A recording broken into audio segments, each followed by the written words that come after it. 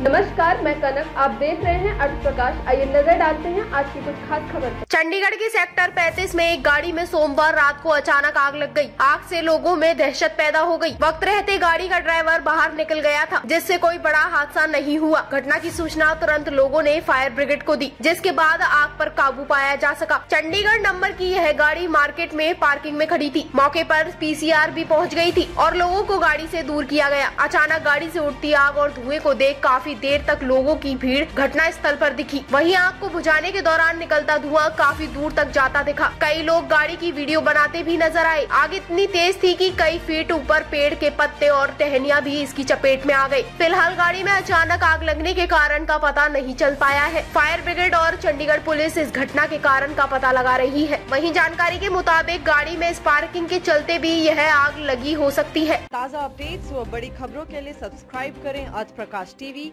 और bell icon दबाना ना भूलें।